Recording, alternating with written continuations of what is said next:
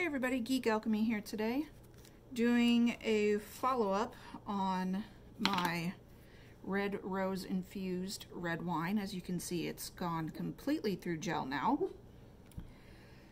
Please excuse my pup in the background. She saw something she didn't like and she just can't get over it now.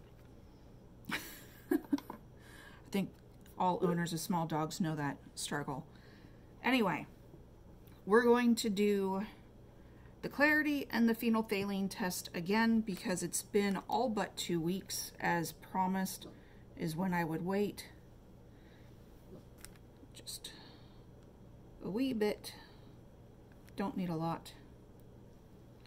And here we go with the phenolphthalein test And today it runs perfectly clear. No pink whatsoever. So it's ready to go according to science. And well, we'll go ahead and see what the clarity test says. Not really sure.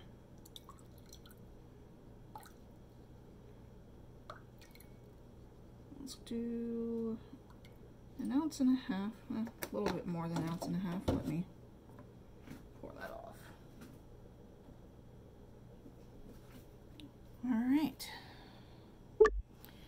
Sorry about that, guys. I just realized I didn't hit record as I was doing all this.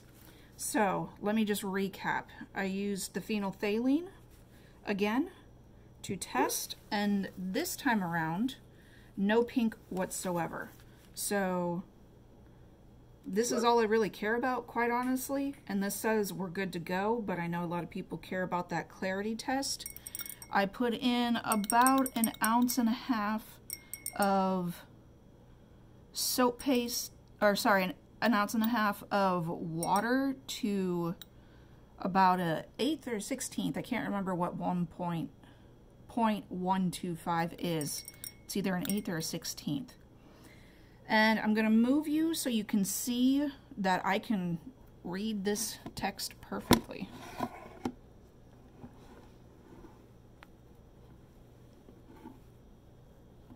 Nope, you can't see. Sorry. This is going to be... Alright, there. Here you can see. Everything is pointing to what we need, what we need it to be. And I'm going to set this off to the side. I'll mess with that in a minute. I'll fold this up and throw it away so that no one's fingers gets in the phenolphthalein. All right, so today, on top of what we just did with our experiment, I have diluted four to one. So that's four parts distilled water to one part soap paste. And it's still really thick. Like most people I guess it might be the coconut oil they put in. Since I don't have any coconut oil, it's not making it thinner, but a lot of people who put coconut oil in their recipes say that a two to one ratio is as good as they can get if they want a thick consistency. And I'm honestly thinking I might be able to get away with a five to one and still have a good consistency. We're gonna first try this, see where we go. I'm gonna weigh out two ounces. And if I go a little over It'll be all right.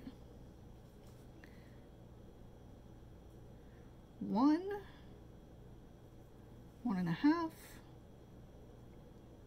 just over two. That's all right. All right.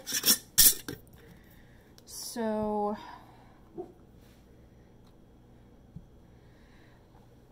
today I'm going to add Nature's Gardens Blue Raspberry Slushy with Bitter Creek liquid bath dye. put in three drops for now, see where that goes. Close it back up. And, oh, what was my ratio? Let me do some math, I'll be right back. I am going to use 3% fragrance oil, which if I did my math right is 0.03, 0.06 ounces.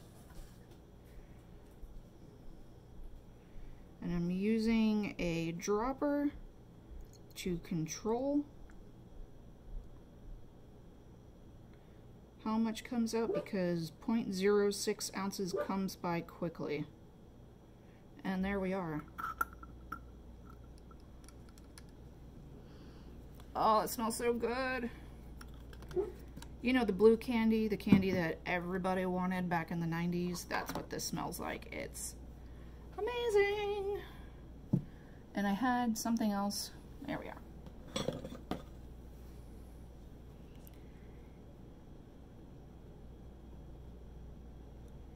Now my soap is kind of, as you can see, on the yellow side. We're going to see what 3% of fragrance does to this. And uh, I don't know if you guys noticed the transformation immediately, but this turned cloudy. But with the blue, it looks awesome it's essentially like a teal color. This is actually really cool. And I think, I think it just got even thicker. Yeah, this thickened up my soap even more. this is literally like a gel right now. This is, yeah, this is, this is almost like slime consistency. This is thick. Dang.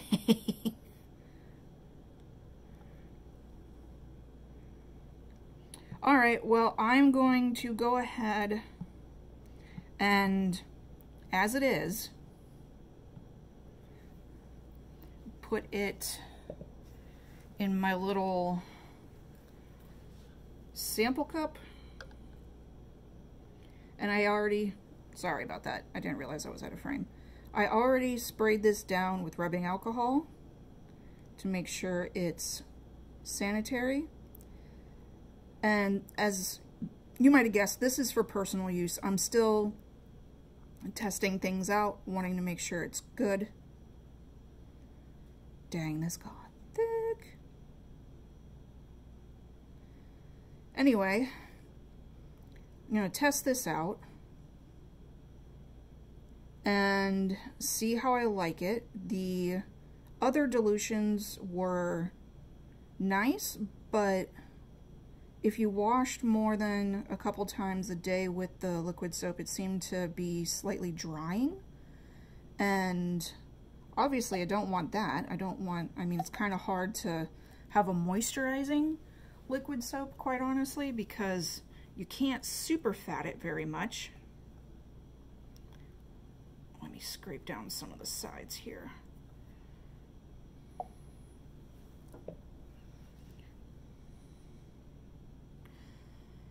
So I'm looking into ways to super fat liquid soap. I'm thinking one of the easiest ways is to add glycerin to the base, to the water solution. I am Uh, with this recipe, there is a, a brine water with a bit of honey in it. So there's nothing in here that would be super moisturizing and to add anything after it's already become liquid soap like after the cook wise it's you're asking for a whole lot of germs and grossness to start living in your soap and I mean I don't know why you use soap, but I use it to get the germs off, not add them. All right, for now, we're to let that go. Give you guys a little close-up. I'll scrape the last bits out later. That is cool looking. It's this really nice, in person, it's this really nice uh, bluish teal color. Man, three drops was all I needed. That was great. All right, so for now, gonna put the lid on this. Like I said, I'll scrape the rest in here later. Just for brevity's sake, we'll move along. Now, keeping in mind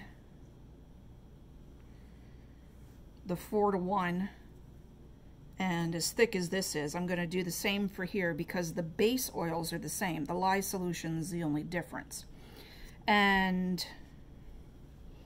there was a strong fragrance like uh, most soaps have after you add anything but water, kind of a, a sharp smell that you really don't want translating into your washable soap. And since soap paste doesn't air out like bar soap does, I'm going to, at the end of the dilution for this, adding Amber Rose Tobacco, which is actually a planned soap already for the lineup. This will be barred.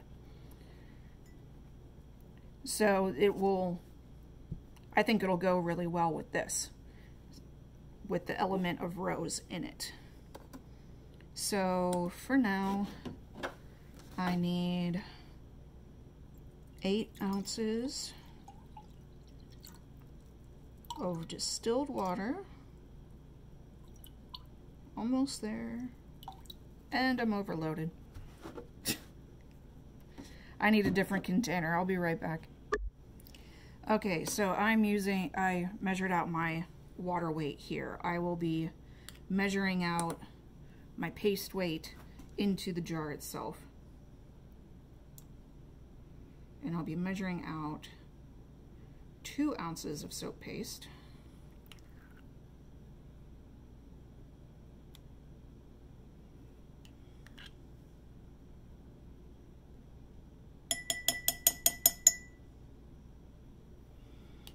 Just a wee bit more.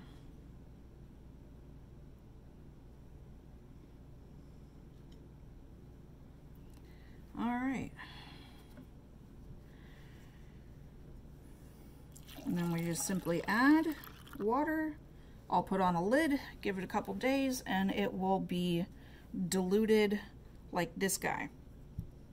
And if not, I'll put a, and if not, I'll put a, it in a double boiler in my crock pot, or not in my crock pot. Well, I could do my crock pot, or I was originally thinking my stove top in one of my cooking pots and be able to get myself it diluted a little faster. Heat speeds up the process of dilution. So anyway, I'm going to test this out, possibly update you on Instagram and or Facebook, and man, I can't get over the smell. This smells great, even at only 3%. All right, guys. I hope you're having a geeky day. I know I am. I'm probably going to do more soaping. I'll see you later. Bye.